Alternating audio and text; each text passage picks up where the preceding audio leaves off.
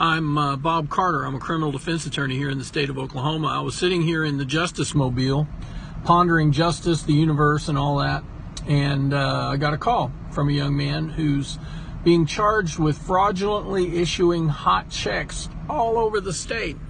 Um, allegedly, he was uh, writing hot checks in places he has never himself been, uh, and at times that he was specifically, he knows he was in other places, uh, and he asked me for his help. Uh, one of the things that's really important about that, if you lose a, um, uh, that could help you, if you lose a book of checks, if you lose a debit card, if you lose a credit card, or even misplace it for a, a fairly significant amount of time, three or four days, call the bank. Get those things turned off.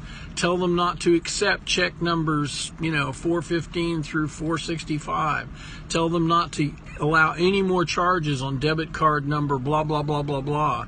Uh, so that they won't uh, believe if someone takes those cards or those checks and tries to use them uh, illegally, they won't blame you for writing hot checks or making fraudulent purchases on a credit card that you don't have in your possession anymore.